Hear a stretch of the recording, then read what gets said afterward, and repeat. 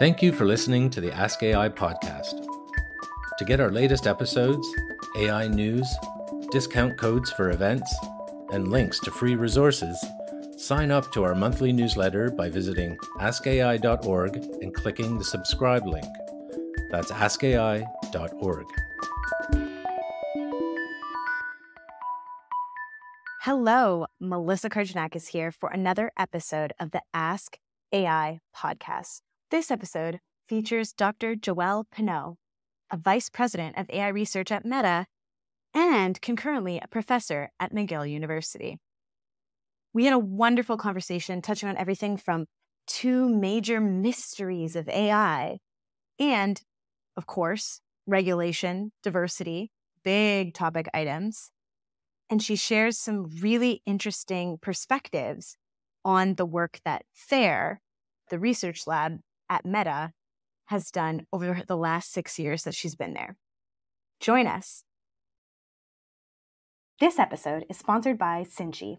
Cinchy is the enterprise data collaboration platform that enables people, systems, and AI to co produce intelligent, reusable data products in real time. By eliminating data integration from IT delivery, Cinchy also makes it virtually impossible to violate data protection controls as you leverage AI technology for your business. If you are an enterprise IT leader looking to de risk and accelerate your AI journey, this is what you've been looking for. Visit Cinchy.com to learn more. Joelle, thank you for joining us today. Thank you. Happy to be here. We're going to be talking primarily about FAIR, which is the Facebook AI research group, and then looking at you know AI research as a whole, and certainly how this relates to the Canadian system, which is critically important and why this podcast exists. But I'd love, you know, if we start just to tell us a little bit about you and why AI and you know, you have a PhD in robotics. When when did the AI part come in or or certainly it's a part of it, but tell tell us more. Uh, sure, happy to. Um, I'm Canadian born. I, I was uh, grew up in Ottawa, and and honestly, I came to AI quite quite late. Um, you know, I had a deep interest in all sorts of other things, music, sports, all sorts of other things as growing up. But but I was always fascinated by um, math and science and and the ability to use math and science to solve real world problems. And so that led me to studying engineering at the University of Waterloo and in, in my very last year there, I was studying systems design engineering, you know, broad, integrative. Um, I, I got just pulled into a project on robotics, building a six legged robot. Um, and, and in particular, the sonar system. So the robot could see the obstacles around it and use that to, to, to guide it. Um, and, and I had a chance last uh, spring to go back to University of Waterloo and, and you know talk to my, undergrad thesis supervisor, and the robot is still sitting there on a shelf. That was a wonderful moment. Um, but really, what drew me into this first project, and to this day, what keeps me there is really curiosity. Uh, I'm I'm just really keen to learn more, to understand, um, and and I found that in AI, you have the ability to solve problems. You know, we talked about healthcare, robotics, all these things, solve problems of so many different types um, with a pretty powerful technology that we are still developing, that we are still trying to understand, and and that, that's captivated me now for for a few decades. I mean, absolutely. You can see even on your uh, Wikipedia and Google Scholar and Facebook Scholar pages, you know, it looks like you were first author, oh my goodness, like 2000, or you were second author on something in 2000. Is that your first major publication? Uh, it's my first major publication in AI, uh, which is on dialogue systems, um, the use of reinforcement learning systems for dialogue system. We were pioneer in the day, and and you know, fast forward at 23 years, and we are here all about reinforcement learning for uh, GPT family of models. So, um, yes, but before that, I had a couple papers uh, from a research internship on evacuation patterns uh, for fire safety out of high-rise buildings. I what? was trying to be a researcher, but you know, sometimes you take a few paths before you land in the right research area. Um, so that was from a summer job in my undergrad. But yes, my first paper in AI, 2000. Yes. Wow. Well, very cool. See, there you go. So on this show, you know, I really do try to keep it as simple as possible. And I know you're an absolutely brilliant researcher. So hopefully, as you're answering, we can try to um, keep it uh, something that people who are maybe like interested in AI but don't necessarily work in the field, something that they can really grasp, um, which I'm, I'm sure with all your brilliance will be able to do. So let's start with FAIR, the Facebook AI Research Group. You know, and and your role in that group and what is like the purpose the goal like what are you what are you trying to do and certainly for our listeners who want to understand that interplay with facebook and, and ai research specifically um, I, I joined, uh, you know, the company we now call Meta um, back in 2017, and and I joined this this organization called FAIR. At the time, we called it Facebook AI Research. Now we actually call it Fundamental AI Research because the company changed its name, so we had to, you know, really capture what we're doing. But but still, it's a group that is dedicated essentially to solving fundamental problems in AI. And so that's something that people may not be, be used to, but but the number of, of large companies have a group that is dedicated to essentially solving the most fundamental problems problems such as you know how do we build models to understand perception to understand what we see what we hear how do we build models that can be used for planning and reasoning? And so they have the ability to take information, but then use that information in a way to produce produce plans, to produce decisions, and, and to draw logical conclusions. We have a, a part of our activities that are looking at the interaction between AI and the physical world.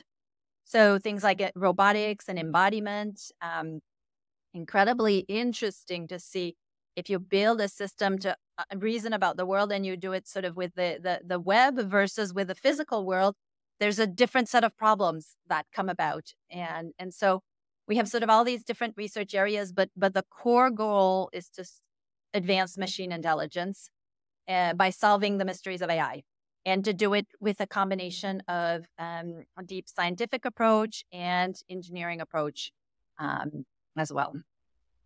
Brilliant. And, and, you know, of course, with your six legged robot back in the day, uh, you know, which I'd love to see, by the way, um, a picture of, you know, that physical AI and robotics. It's so interesting. It must be a huge area that you have this ongoing, many, many years of experience in the physical side as much as the web side.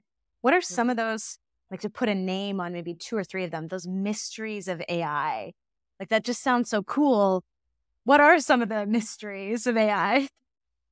Uh, let me pick a few. I, you know, we could we could go on for a lot for a long yes. time. But one that we've heard a lot about this year is is the problem of hallucinations. And this is when you know you talk to a model like ChatGPT and and it makes up false information. Um, and so this is clearly a problem. Like we, you know, sometimes we want to go into fantasy land, but most of the time we want answers grounded in reality. Um, and so hallucination, you know, there's a few different ways to solve it.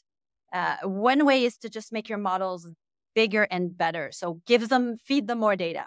And as you feed them more data, they'll they'll reduce the, the false information. Another way is to build the way that they generate the information differently. So right now, you know, they look at the the past few sentences you said and they they generate the next few words but but they do it at a pretty shallow level. They don't look for logical consistency when they do that. And so we could build different architecture that give us much more robust logical consistency. Um, we could also leverage retrieval engines, for example. So if you take just a problem like hallucination, how to solve it, there's many different hypotheses and different approaches to solve that. So this is one example. You know, I could uh, pick a dozen more. An- another one that we we were working on quite a bit um, is the problem of um, building up uh, safety and alignment into our systems. So, how do we make sure that the behavior of our system, and, and not just language, but systems that generate images or systems that generate sound and audio, how do we make sure that the output of these generative AI system is consistent with the behaviors that we want? Um, and and so there's there's you know first there's a question of like what are the behaviors that we want but then there's a question of how do we put that in do we build it early on into the data do we build it into the architecture and the code itself do we sort of put it on the end like a little bit of icing on the cake um, there's different approaches. So we take these canonical problems and we have different hypotheses. We build different systems. We run the experiment, and and through that we learned we learn how to solve some of these interesting problems. That's it's fascinating. I particularly like the hallucinations mystery and and the way that you explained to our audience. You know, ChatGPT is just predicting the next most likely word, and I don't think a lot of people realize that that is how that technology works it's yeah. not about fundamentally understanding what is trying to be said and re-saying it. I know this because I was building that startup years ago. um, years ago, I was in like 2018. I was trying to say, okay, if we take these contract clauses, if it's trying to say this, how do we just rewrite it from like legalese to simple, easier to understand language, uh right? And that requires understanding like what's being said, parts of speech, all that stuff. And that's not how these models work. These models are fascinating. They're very different. They almost yeah in a way don't care the logic of what's being said. They're just like, next most likely word, this is what works. And for a legal contract in particular, you can imagine just the problems you get if you don't if you don't uh, fix this problem. Exactly. So fascinating. So there you go. Some of our listeners, the mysteries of AI that you too could potentially solve. Um, all right, moving more into AI research. Obviously, you have an, an, incredible background here. Like the list of publications, just it scrolls and scrolls. It's amazing. I did not have the stamina for being a researcher, so I'm I'm impressed. I've got my one paper masters and I'm out. Uh, so it's very very impressive. I know how much work goes into that, and, and I hope our users can really appreciate it. But you know, talk to me more about reproducible research and like that like research ethics and like checking it and tell me more yeah. Um, you know, you talk about the the publication. This is one part of our culture, especially in academic research, where we, you know, we communicate the results of our research through papers. And and and the reason I think, you know, papers are important is because they essentially give us a, a way to to succinctly put together all of our findings. When we share it outside, we put it out for the scrutiny of the external world. We send it to peer review committees and and other experts read our work and they send some critique and either they sort of give it a stamp of approval so it's going to be published in a conference or a journal or they say no that's not quite good enough you know do some more work and send it again next time um in in all of that work you know you know yes over the years i've had the the chance to to write many papers but but it comes from work that i did with research teams my research teams at mcgill and at Mila and my research team uh, more recently at at meta science is really collaborative work. People forget that, but but the way that we progress in our knowledge is through the work of a community of people. And and so, you know, you mentioned a little bit the work I've done in mm-hmm. reproducibility. That comes out of a deep sense that I want to make sure that when we share results, whether it's a paper or whether it's, you know, in some cases we open source our code or our models, I want to make sure that this is high quality work and, and, reproducibility is one of the highest bar for, for the quality of the work. It, it's it's a case where you know if I do a work in my lab and someone else takes information about that and re- does, does the work in their own lab, that they reach the same results and they draw the same conclusions. And when we have reproducibility, we have higher confidence in the validity of our results and our research. So it's a fundamental tenet of science that reproducibility helps us build up the confidence in our results it's not always easy to do. Sometimes one group comes out with the results and no one else can reproduce it. And and we want to catch that very early because we are building as a community. So if you have a good result, other people will build on it. And if the foundations are weak, down the line, your whole house will just like fall uh, on itself. So this is what we want to avoid. We want to build solid houses, high rise that will take us to, to really high quality results but we need to have high standard of reproducibility and in many times in my career i've come across results from groups that did not meet that standard where people in my lab were not able to reproduce the work and so we've put together uh, some some um, initiatives to help to really drive home the importance of reproducibility and encourage the community to to set a higher bar We've set a reproducibility challenge where people are invited to reproduce work from other labs. We run this once a year with some of the top papers published in the year. We have set up a reproducibility checklist Um, it's a checklist, a bit like you know the pilots run in the plane, where they kind of go through Oh, all the yeah. items before they fly off, and and and the surgeons use this also. I'm told in the operating room before you kind of cut open anyone, you like go through your checklist to make sure you've got all the all the pieces in place so that it goes well. So we proposed a reproducibility checklist that was used by many across the community. That is like a list of things that you can check to make sure that your paper it increases the chance that the work is reproducible. It's not you know 100% guaranteed but it certainly improves our ability to to make sure to include all the ingredients that we need. And again this is really driven from a point of view of helping us build a sound foundation for our knowledge um, so that not only can the research move faster but also now we see a, tons of people around the world who are building applications and products on our research. And if the research we give them isn't of the right quality, then the applications and the the experiences that people are going to have with AI systems is not going to be up to our standards. That's incredible. It's I loved the way that you talked about pilots and surgeons and gave those examples and saying, well, this is just as important, this repeatability checklist for AI research as well. I I couldn't agree more, obviously. Uh, it's something I've cared about for not quite as long as you, but it's amazing to see so many more people like waking up to like the power of AI now that we can start to see it and and play with it. It feels real, but I mean, it's been coming for a long time. I know one of the journals you're um, on the board of, I believe, was started in like the 1970s, something like that. Like a very, very long history, getting us to this moment, which is such a big moment. And with all this talk of academic rigor, I do want to ask an interesting question of that transition from pure academia, right? Like working in in McGill and Mila, and then moving into being a researcher within the private sector.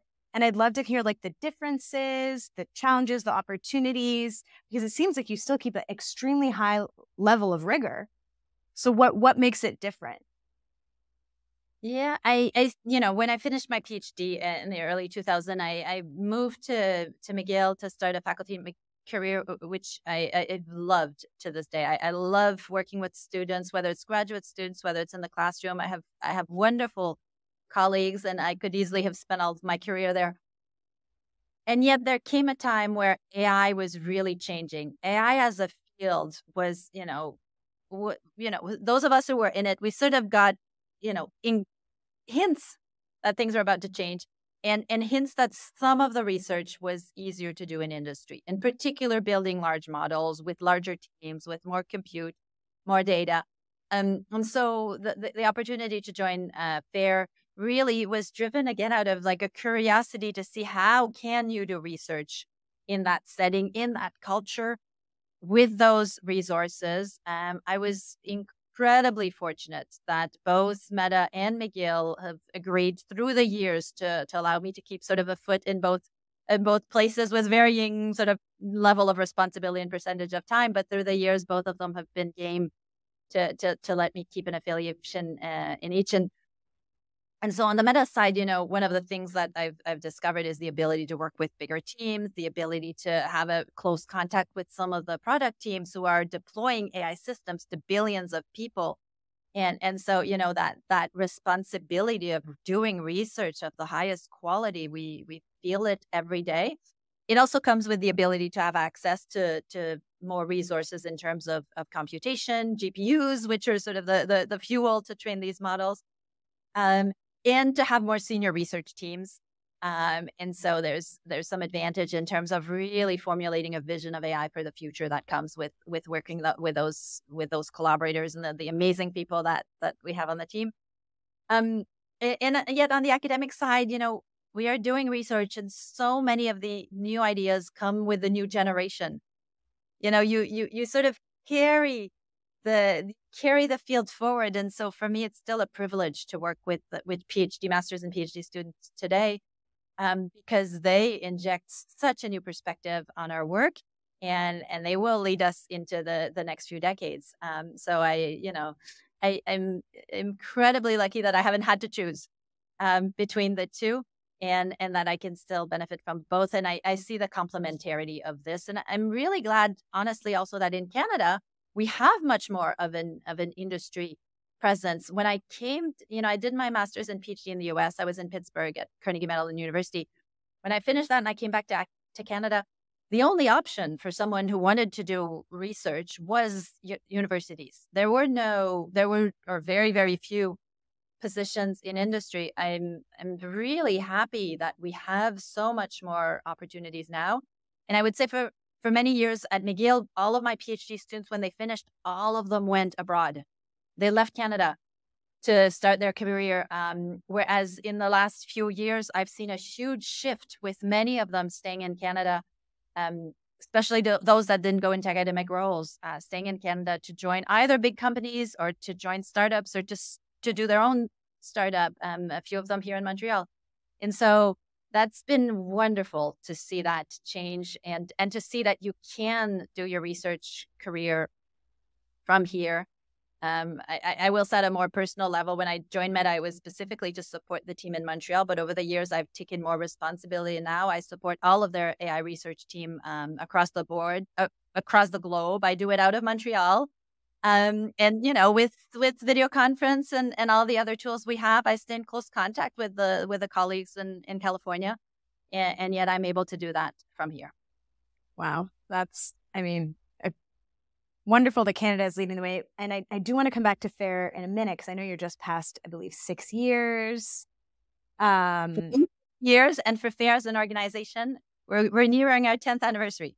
Yes, it was an article I pulled last year about five years with your involvement. Uh, so now six, but so six years with you and 10, 10 year anniversary is incredible. So I do want to come back to that. But you said a few things that are really important. They're often discussed with regards to research versus commercialization of AI in Canada. It comes up all the time.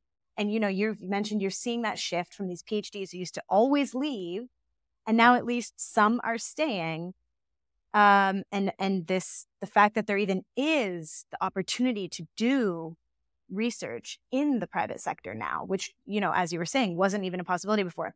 Talk to me a little bit about what you're seeing, maybe the shifts in the trends around commercialization versus research in Canada because so often we still hear so good at research, so good at research, so not so good at commercialization. So the question is, is that the right way to describe it? Is, is what we're being told the right narrative?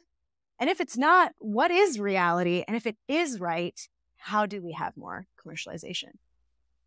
Yeah, I mean, uh, one thing I can say for sure is there's been huge change know, over the last uh, over the last uh, several years. Um, I see many more big companies, big international companies, who are setting up uh, offices in in Canada, who have a footprint here. They come here because of the talent, um, and because they know that this is where they can w- work with some of the most talented researchers. And I'm seeing a lot of startups, um, many more than I would have had before. There's, you know, a huge number of really exciting new ventures um, that are that are coming through, and some of them are are getting big. I'm thinking of like you know Cohere, who that's based in Toronto. This is a great great example. Um, but there are many many more. Um, and the other thing we're seeing, I, th- I would say there's sort of three three patterns. The third pattern we're seeing is well established Canadian companies who are increasing their AI capacity.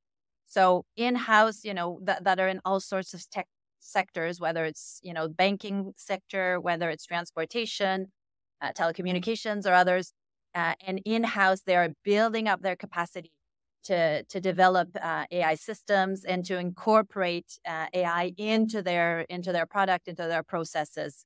Um, so I think those three things are happening, which creates a lot of, of capacity in terms of uh, for roles, interesting jobs for for people with this type of expertise. Now, the question is more like, could we do more? Right? I think we are doing a lot more today than we were before, which is incredibly exciting. Could we do more? Probably. Do we have enough injection of capital to make sure that these, you know, startups are growing? Do we have the right immigration policy to make sure that it's very easy for the talent to come in? And do we have the right incentives to enable uh, the existing companies to transform towards AI and to upskill their um, their employees. I think there is probably a lot more than we can do there. And then the last piece is, is around regulation. Um, I think we're in the process of figuring out how we will you know, build up a sound regulatory framework for AI. We are doing it in Canada. It's happening in the US. It's happening in the UK. It's happening in the EU. Across the world, everyone's talking about AI regulation, and and there's a lot of um, questions about how that is going to to to come through. And I think it's important to be very very thoughtful about how to build that in a way that really enables innovation, enables us to be very agile and to take the most of this incredible technology, but do it in a way that's responsible, do it in a way that is mindful of um, people's privacy, um, that does it in a way that really respects good principles in terms of fairness and security and so on and so forth. So that is going to be a really interesting question for coming months and years. I mean, you're so good at this. Uh, every time I want to talk about something, you just give me these beautiful segues. So this is this is great. This is a great segue because I had seen something else in my pre-research on you online, and this is such a good segue. I saw the joint statement on AI safety and openness through Mozilla, which has 377 signatories at this time. pretty incredible.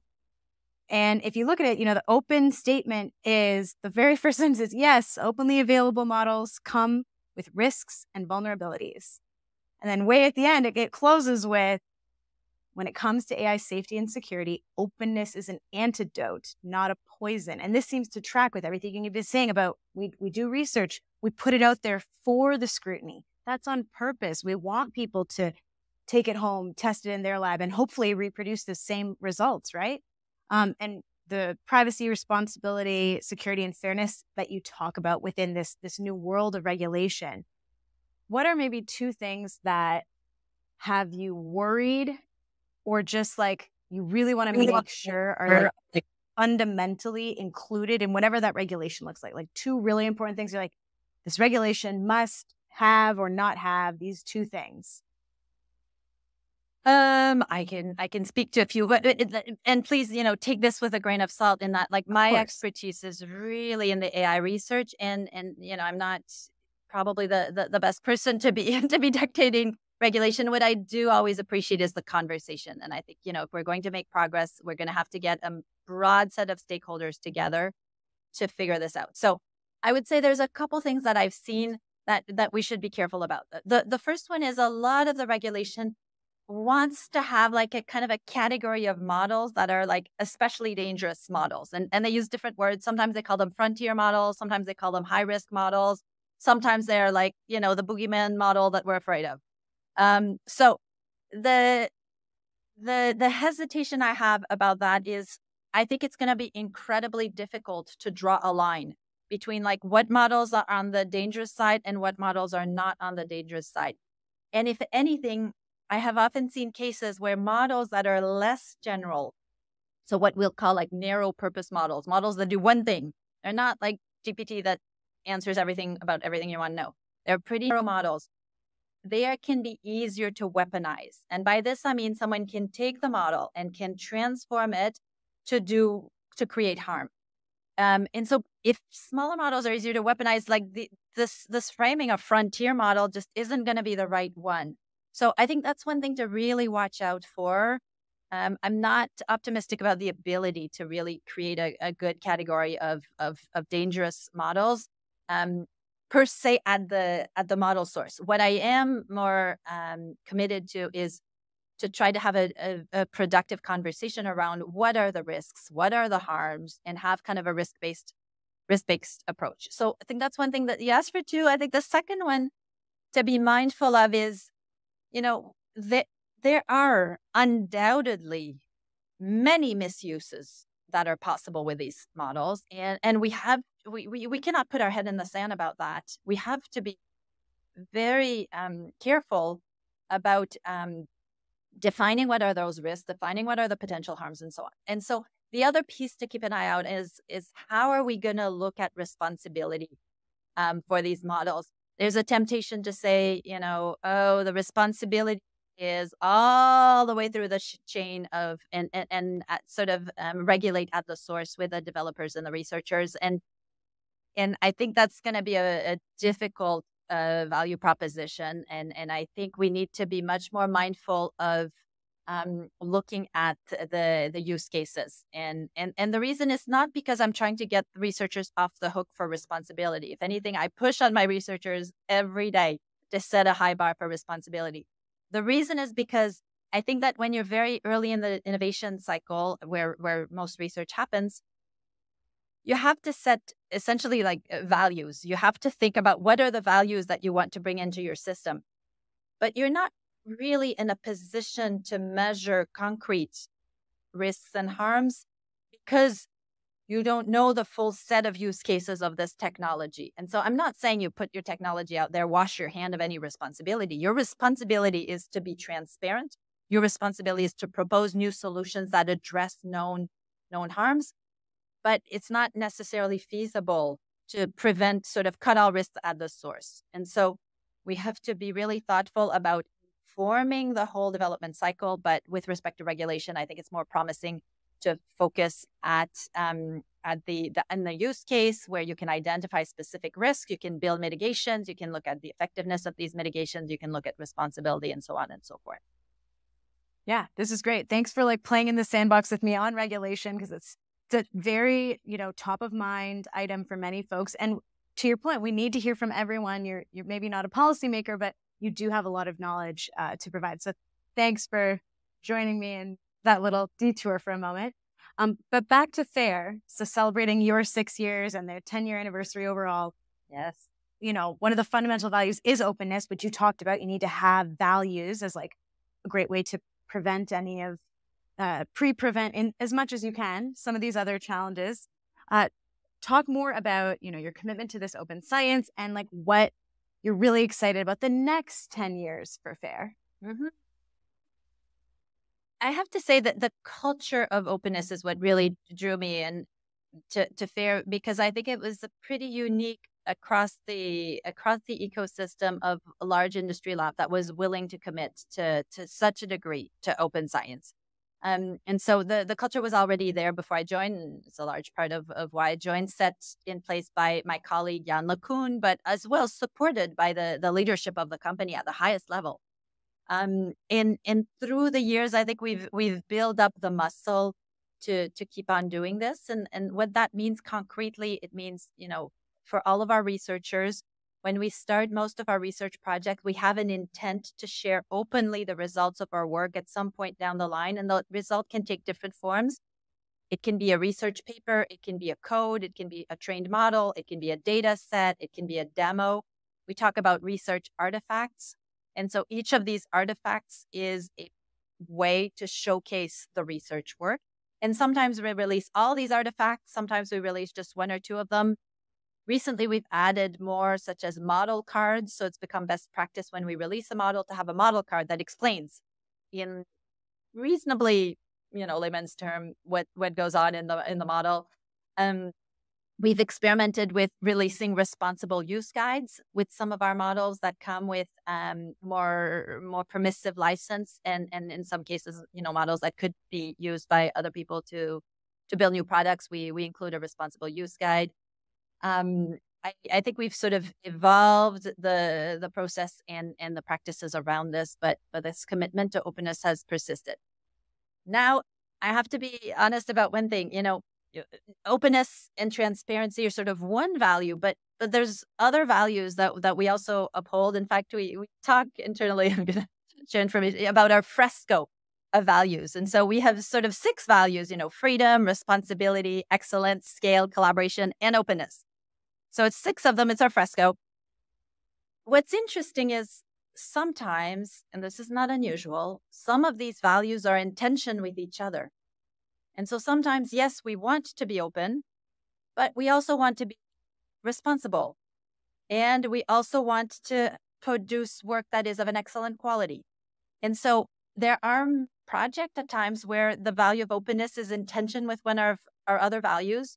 And so we may decide not to release some work. For example, if a model doesn't release our standard of quality, then you know we're not meeting our bar in terms of excellence. We're not going to go and open up that model.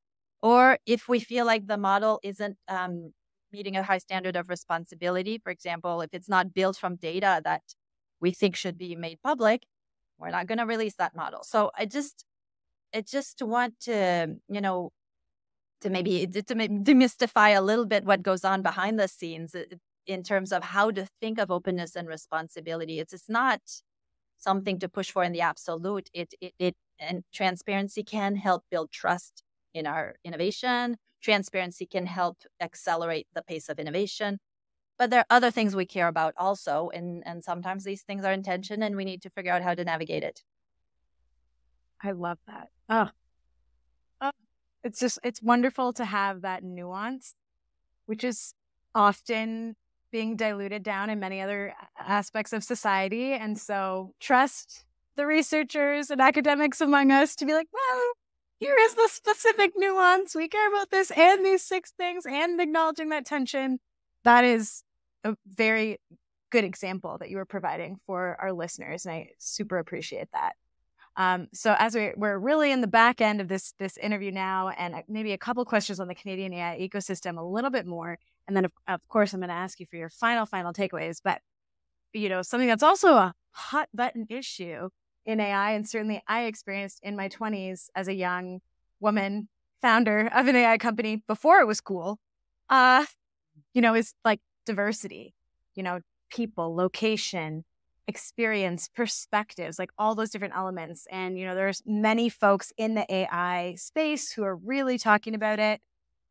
But the Canadian lens, you know, what's your Canadian lens on diversity and its importance in AI research? Because a lot of people talking about it are, are, are stateside. So talk to me yeah, more. Uh, I mean, I, you know, I've, I, have i have grown up sort of a, um, across, you know, in Ottawa, the intersection of the, both the francophone and the anglophone culture and and I've had the the, the privilege to to travel in many many places uh, around the world and to work with researchers who come from many places around the world. Back in the days of my PhDs, you know, my my friends and classmates came from from China, from India, from Israel. They came from Europe. They came from South Africa, uh, and and that was a, a wonderful way to to see the world through through completely different lenses. Um, I do think it's incredibly important to build diverse team because you know, often what I've always said, and, and this is also partly from my own, you know, journey as a woman in, in, in research and science, it's so much that you you solve problems differently. You know, we, we all know the same math and the same science, and and and we all code with the same language and so on. What we do is we ask different questions, and when you come to the table with your own experience and your own background, you will ask different questions and as a result, you will take the work on a different journey. And so this is what's really, really, you know, I think uh, the, the fundamental value of doing that. I, I strive to build very diverse teams. Um, and we've developed several several ways to do it. Um, I, I think it's important from a sense of equity, but I I deeply believe, and I've seen so many times that it makes our work better.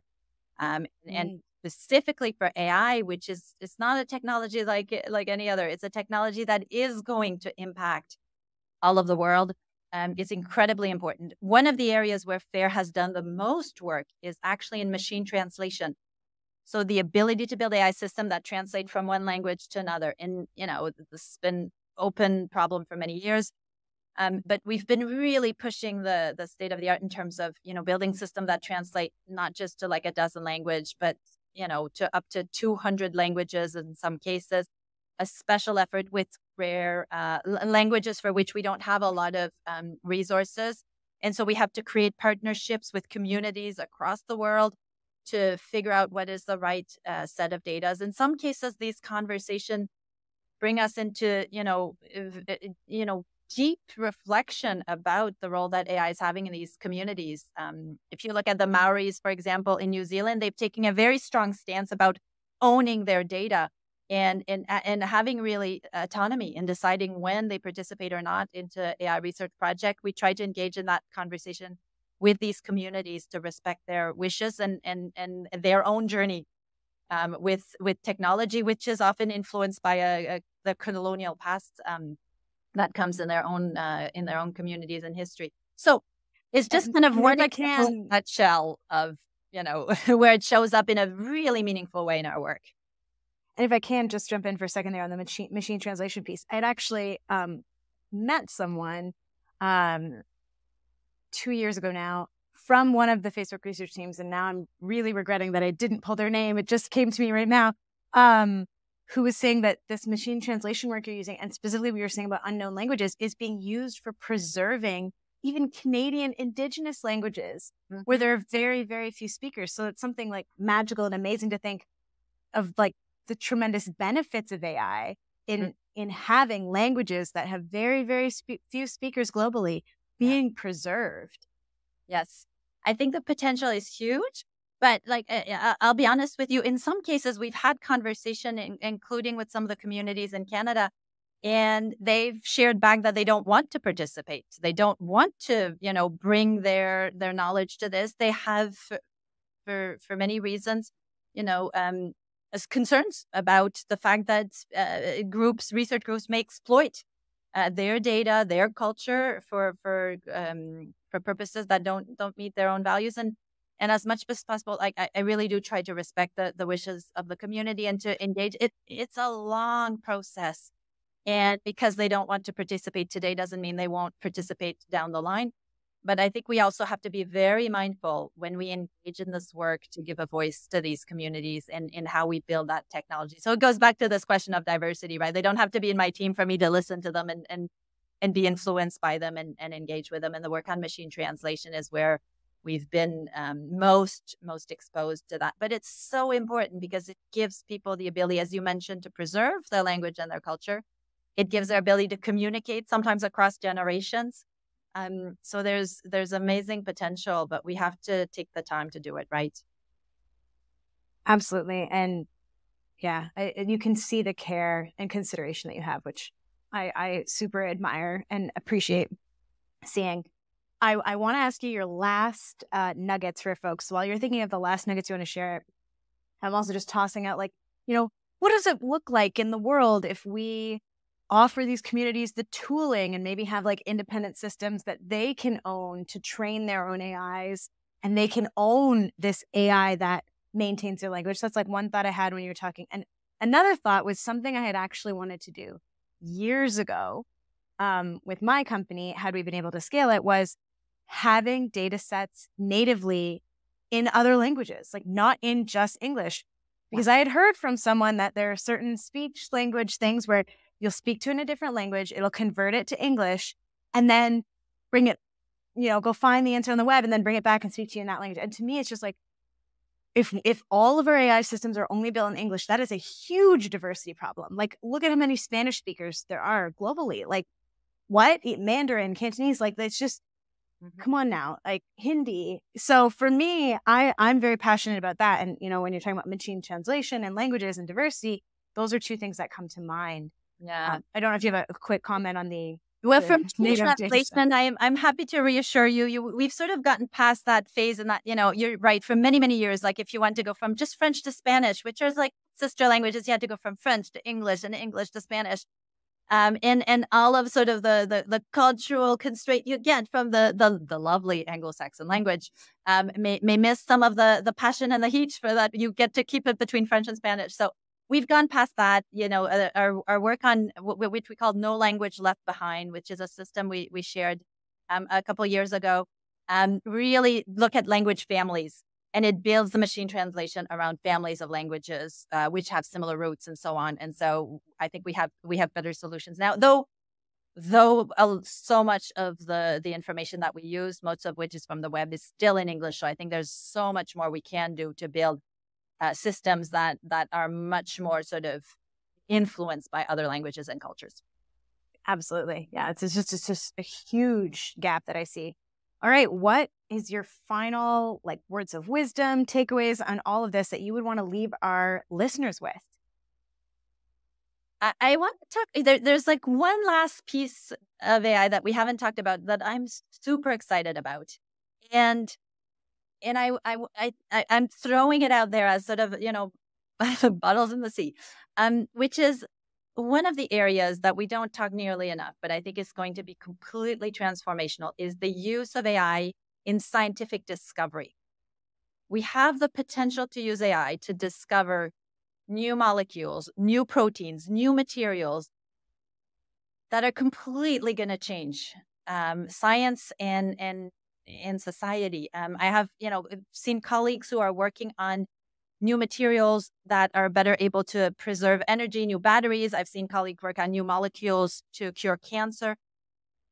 I've seen your colleagues trying to figure out, you know, how to um, essentially, you know, solve processes in chemistry through AI. And so the space is huge. And so I just want to put it out there that in many ways, you know, the models that we are developing for AI, we think they're just going to, you know, enhance our, our, our web experience and, and so on and so forth. But the ability to take these ideas and implement them in the scientific discovery process for all the other sciences is incredible and and so you know even in the in the toughest days and and and when i feel like oh are we really bringing like you know good into the world with this new technology the work that I'm seeing that is happening in the basic sciences coming from AI and our ability to accelerate the scientific discovery progress is incredible. I've had a colleague tell me recently there I'm not going to reveal the results of their work because it's not quite ready for publication yet. But they're engaged in, in, in one of these projects on, on AI guided design. And, and what they said is, Joelle, you know, over the last six months, we have done as much project progress as we plan to do in 25 years with our classical methods.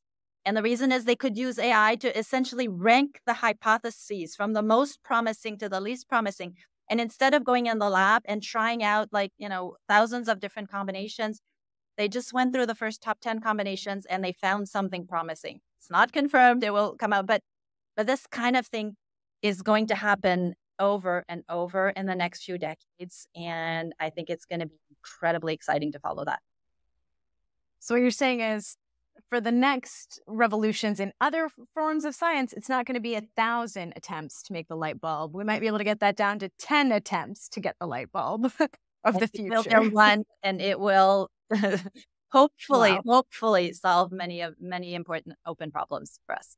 Wow. I mean, I love the space. I'm obsessed with it. Obviously, um, it's really wonderful to spend time with you uh, Joelle Pineau, thank you so much for being with us. And I want to say Dr. Joelle Pineau, because, you know, you should be getting all your laurels.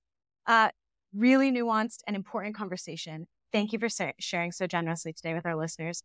Wonderful to have you here. It's a pleasure. Thank you so much for the conversation. What a wonderful, wonderful episode. Thank you for sharing the two mysteries of AI on the hallucinations when it makes things up and how we need to improve safety with guardrails and better safeguards around what AI can and cannot do.